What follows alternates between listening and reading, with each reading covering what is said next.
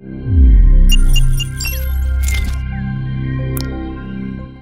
pod pojmom street workout si bežný človek alebo bežná populácia môže predstaviť e, nejaké cvičenie s vlastnou hmotnosťou, kedy nevyužívame žiadne činky, žiadnu nejakú externú záťaž, ale využívame čisto hmotnosť nášho tela,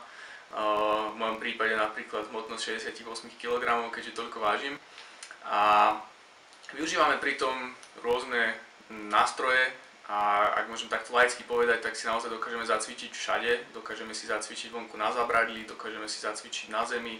dokážeme si zacvičiť na hociakom múriku, ale najčastejšie teda používame e, na toto cvičenie rôzne workoutové alebo street workoutové ihriska, na ktorých najbežnejším náčiním sú hrazdy, alebo bradla, alebo teda už tá zem, na ktorej si dokážeme zacvičiť rôzne veľa, veľa, veľa cvičení a dokážeme pokryť naozaj všetky svalové partie, ktoré dokážete pokryť aj v posilovni. Takže street workoutu som sa začal venovať niekde na rozmedzi rokov 2016 až 2017, skôr teda toho 2017 roku. Teraz to už bude 5. rok, čo sa tomu venujem a začalo ma to baviť. Ja som taký športový typ a Vyskúšal som naozaj veľmi veľa športov predtým, než som pristal teda tomto jednému športu. Hrával som futbal, hrával som volejbal, dokonca som hrával 6 rokov aj šachy, 12 rokov som hrával na úsle, 3 roky som hrával na klavír a vyskúšal som toho naozaj veľmi veľa.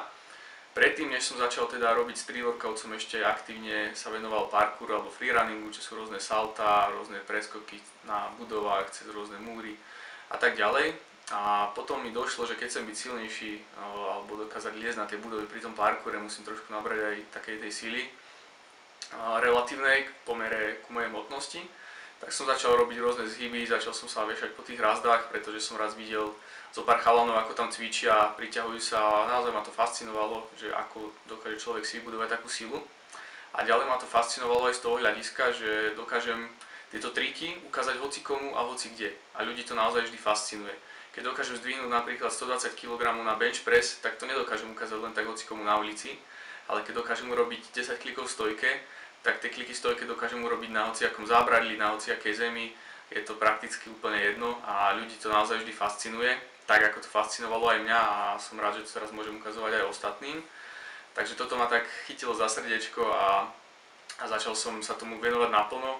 Z začiatku som nemal ešte vôbec nejaké ambície, nevedel som o žiadnych súťažiach, robil som to len sám pre seba, lebo ma to bavilo a cítil som sa vďaka tomu výnimočný.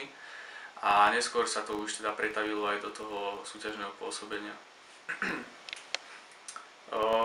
Zo začiatku, keď som začínal, môj tréning vyzeral tak, že som potreboval nabrať nejakú tú silu, boli to nejaké tie zhyby na hrazde, dipy na bradlách alebo kľúky na zemi.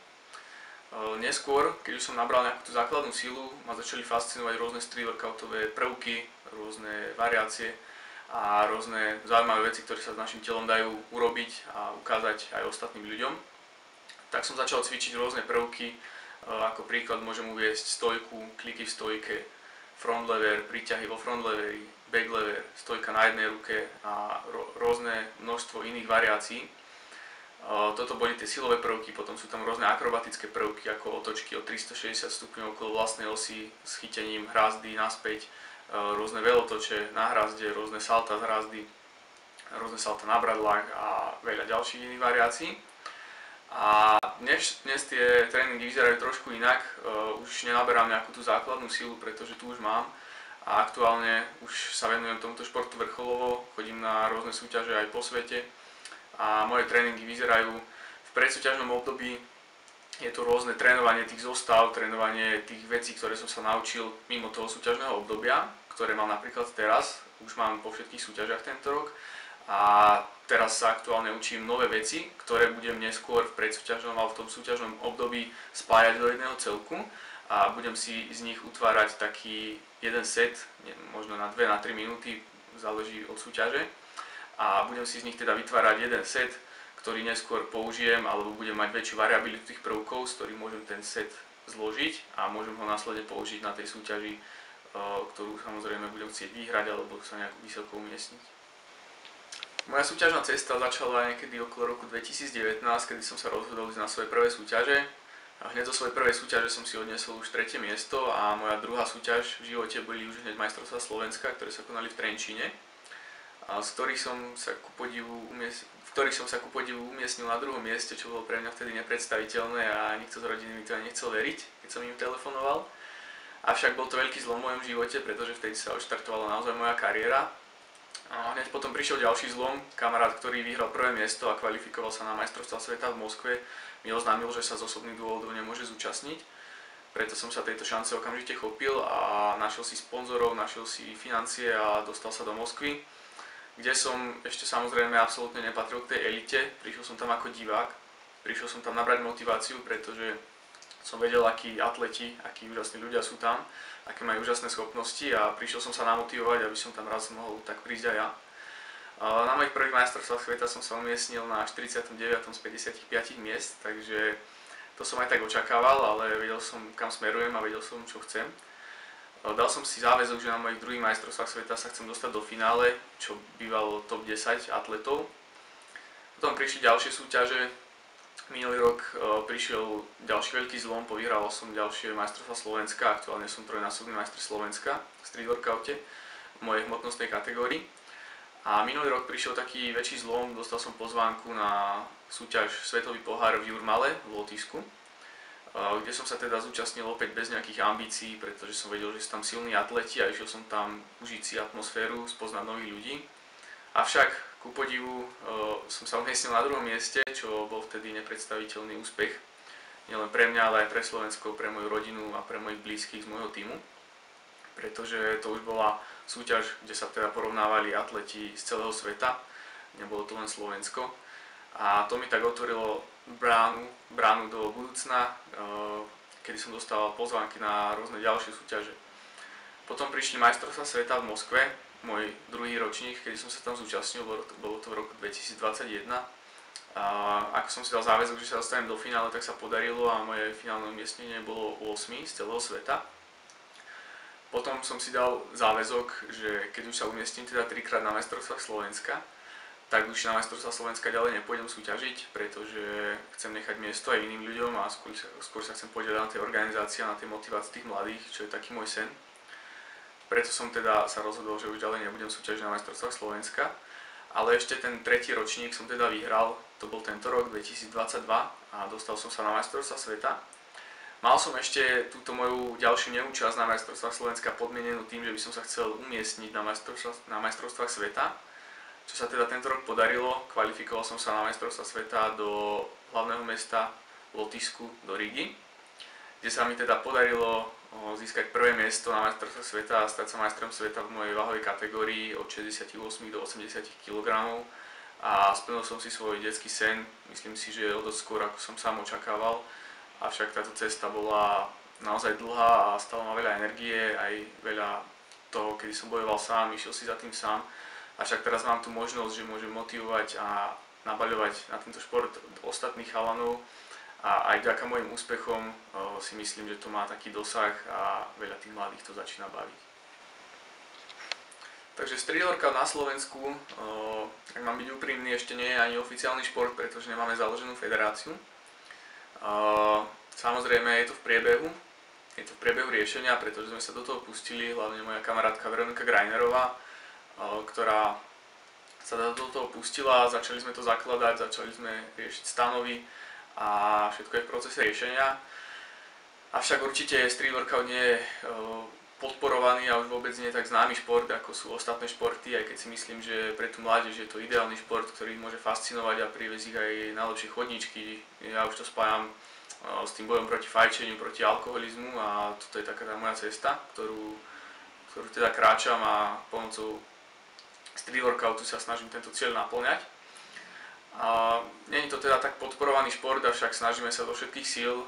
osobne som založil pred rokom občianske združenie Street Workout Kisuce, vďaka ktorému sa snažím získavať nejaké financie na naše cesty e,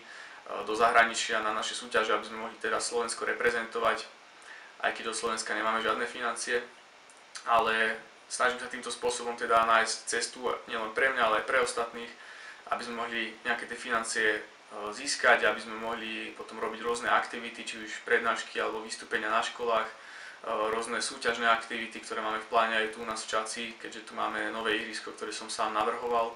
a od leta tu stojí a je zamerané na prípravu našich mladých atletov na súťaže, pretože ja keď som bol mladší a nemal som k dispozícii takéto ihrisko, ktoré bolo presne podľa tých parametrov alebo podľa tých podmienok, ktoré my máme na súťažiach, musel som cestovať bežne aj 100 km, aby som si dokázal zacvičiť nejaké svoje zostavy na súťaže. Takže som rád, že už to tu či už vďaka mestu, či už vďaka mne alebo nášmu občanskému združeniu stojí a dúfam, že bude slúžiť aj ďalším generáciám. A dúfam taktiež, že sa táto situácia zmení a že tento šport sa dostane viac do povedomia ľudí, že bude viac podporovaný a ja môžem slúbiť, že sa o to budem snažiť zo všetkých síl. Hlavnú cestu, ako sa môže tomuto športu venovať, alebo ako môže tento šport pritiahnuť viac nadšencov, eh, vidím v tom ukazovať im to viac na oči, tým myslím robiť rôzne prednášky na školách, vystúpenia, taktiež rôzne motivačné prednášky. A keď už máme nejaké tie úspechy, tak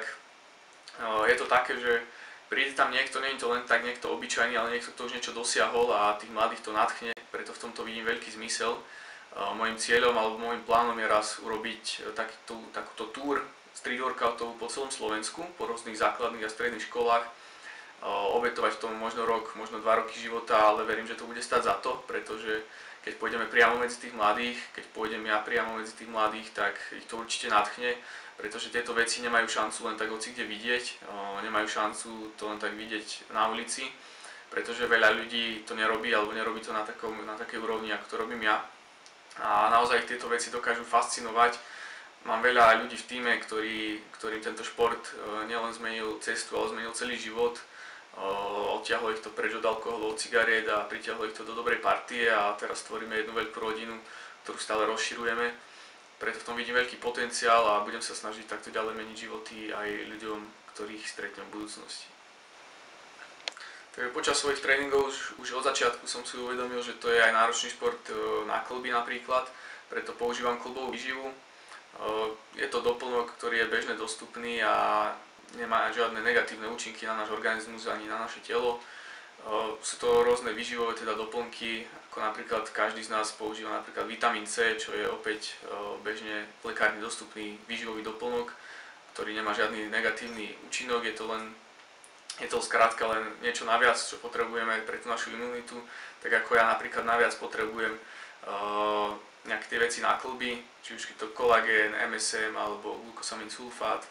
chondroitín sulfát a rôzne iné látky, ktoré sa v tom nachádzajú. A teda používam to ako prevenciu, uh, nie je to niečo, že by ma boleli klby, ale uvedomil som si, že keď tam mám tie klby už namáhané, tak potrebujem aj nejakú tú prevenciu do budúcna,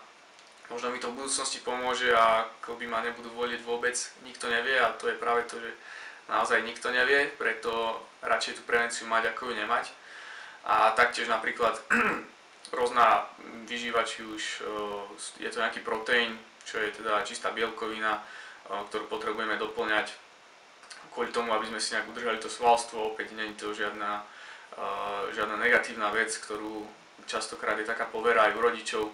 že je to nejaký prášok, tak to musí byť zlé, že sú to uh, rôzne tie steroidy, ktoré sa teda pichajú, ktoré kulturisti alebo rôzny doping, ale naozaj protein s tým nemá nič spoločné, čo vám môžem aj ako študent uh, kondičného trénerstva na Univerzite Matia Bela povedať, pretože sa tam o tom učíme a rozoberáme to. Takže v zime, uh, áno, či mi není zima, Častokrát je, avšak keď sa hýbem a keď ideme naozaj tie série za sebou, keď sa človek hýbe, keď to robí aj srdcom, tak na tú zimu absolútne nemyslí, aj keď mu zima je. A častokrát zo začiatku sme to spájali práve s tou bojovnosťou, že to už nebolo len to, že musíme ten tréning prekonať, že musíme cvičiť, ale už to bolo aj to, že musíme cvičiť v tých stiažených podmienkach. A vďaka tomu naše srdcia zahoreli a cítili sme sa ako praví bojovníci, cítili sme sa, že preto robíme niečo viac ako len cvičíme, a museli sme aj prekonať aj túto stránku chladu. Dnes už, e, keď teda máme podmienky a vieme si tak zacvičiť, tak si ideme zacvičiť aj dovnútra, máme tu k dispozícii telocvične, dokážem si bez problémov zacvičiť aj doma, pretože mám na to všetko potrebné vybavenie. E, dokážem si bez problémov zacvičiť aj v telocvični gymnastickej na mojej univerzite v Banskej Bystrici, keďže tam mám na to vytvorené podmienky, takže áno, e, častokrát býva zima, avšak tú zimu nejak nevnímame kvôli tomu, že si ideme za tým svojim snom a častokrát nás to ešte viac utúži ako celok a ako skupinu. Takže čo by som odkázal mladým ľuďom, keďže vieme, že vo všeobecnosti teraz panuje taký trend medzi mladými, že viac tých mladých sa nehybe ako hýbe, Preto by som mladým chcel, odkázať, že skúste niekedy vymeniť ten počítač za ten zdravý pohyb, alebo niekedy skúste vymeniť e, nejaký ten autobus na cestu do školy za bicykel, pretože snažíme sa nehľadať e, cesty ľahšie, ale cesty zdravšie. To je taká moja myšlienka, ktorú by som vám chcel zdeliť, ktorú by som, ktorú by som vám chcel zdieľať. A preto snažíme sa e, stále ukazovať aj tým mladým, vy, ktorí máte tú moc, ktorí sa hýbete, ktorí máte nejakú tú popularitu, snažte sa im ukazovať cesty. A vám mladým by som chcel odkázať, nehamite sa, napísať mi aj na Instagram, na Facebook, ja veľmi rád každému odporúčim alebo poradím, čo potrebuje, opýta sa ma, veľmi rád každého namotivujem, pretože to je moja cesta. Snažím sa robiť tie vystúpenia, budeme robiť rôzne vystúpenia po školách, takže ak máte záujem, napíšte mi, napíšte, povedzte vašej pani riaditeľke, pánovi učiteľovi, ja rád prídem a ukážem vám, ako sa dá naozaj, naozaj žiť a ako sa dá vymeniť uh, rôzne to vysedávanie, rôzne to gamblenie, závislačenie na tých televízoroch, počítačoch, ako sa to dá obmedziť a ako sa to dá vymeniť za naozaj niečo zdravé, čo neprinesie plusy len vám, ale aj vášmu okoliu a možno nakoniec aj celému svetu.